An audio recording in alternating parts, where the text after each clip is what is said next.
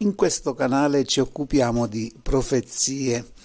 e dobbiamo segnalare la nascita di un nuovo profeta, Pablo Aio,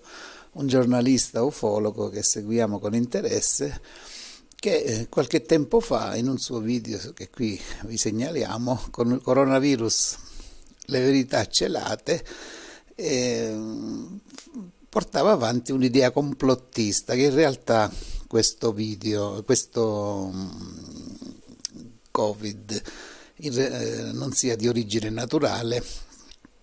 ma è creato in laboratorio, quindi sfuggito dai laboratori cinesi di Wuhan. E su questo tema c'è stato un lungo dibattito, ci sono stati molti virologi che hanno portato avanti delle prove che non era così ma eh, incredibilmente il presidente Trump ha fatto diventare questa la sua bandiera. Abbiamo visto che in questi giorni ha, com- ha cominciato a urlare con voce sempre più alta, accusando i cinesi che questo virus proviene dai laboratori cinesi di Wuhan. Ma la cosa è andata anche oltre perché vediamo che i giornali di oggi fanno, danno delle notizie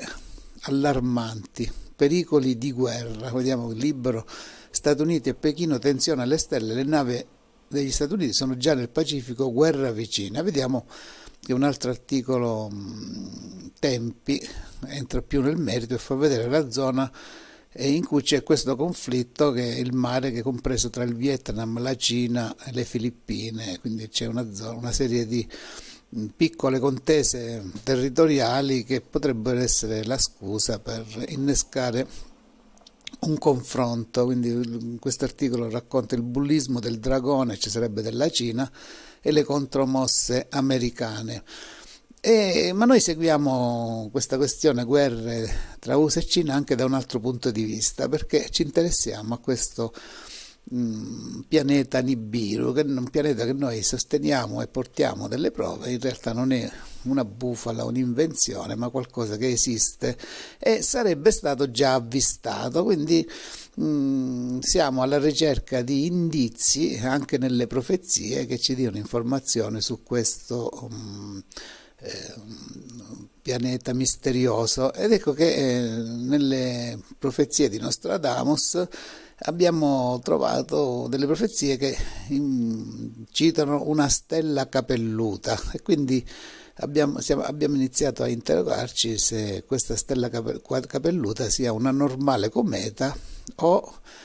invece questo pianeta Nibiru, quindi c'è una quartina che è appunto una delle tante in cui c'è una cometa, ovviamente nella storia ci sono state tante comete, quindi si apre un dibattito, ma questa stella cometa è, è, una normale stella e quindi cerchiamo gli indizi, quindi ci sarebbe questa mm, quartina che cita che i, i tre gran principi nemici diverranno colpiti dal cielo la pace e la tremante terra, quindi ci sembrano delle dichiarazioni eh, apocalittiche perché sono, diciamo, escono fuori dal normale e, poi c'è una cosa strana, una curiosità, che c'è il Po eh, il Tevere in piena e un serpente sulla sponda a posto, quindi questa cosa non siamo riusciti a trovarla nella storia, quindi riteniamo che sia una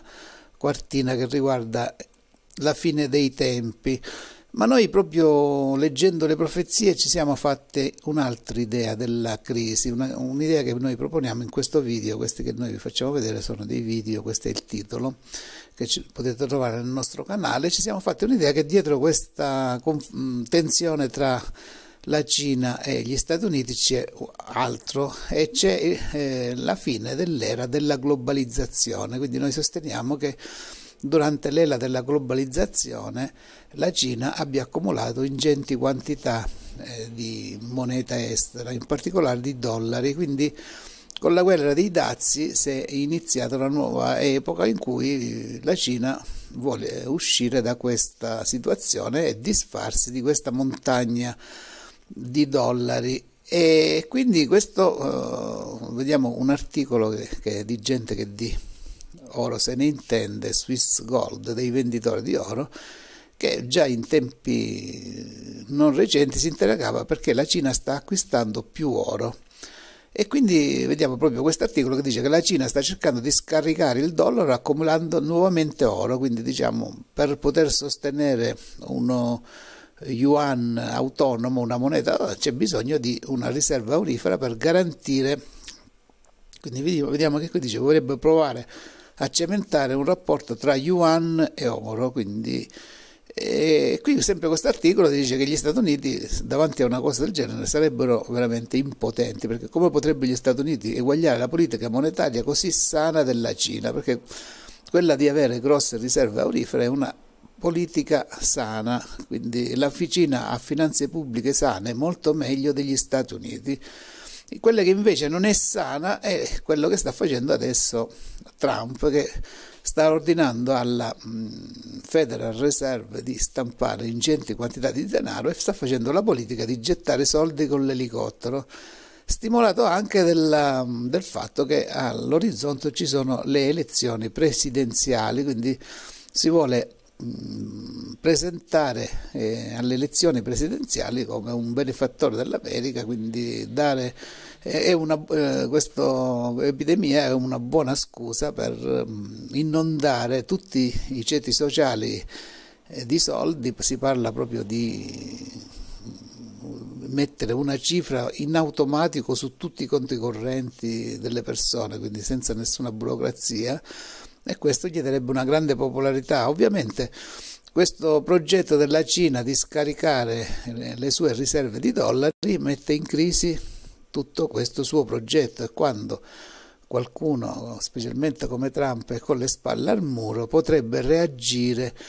eh, in, modo, in, malo modo che potesse, sembrerebbe che quello che stia facendo fino a questo momento a livello di minaccia quindi noi,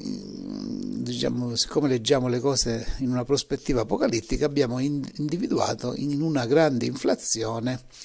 eh, questa, mh, i primi segni dell'Apocalisse, quindi chi vuole indagare su questo argomento e approfondire può consultare questa playlist del nostro canale.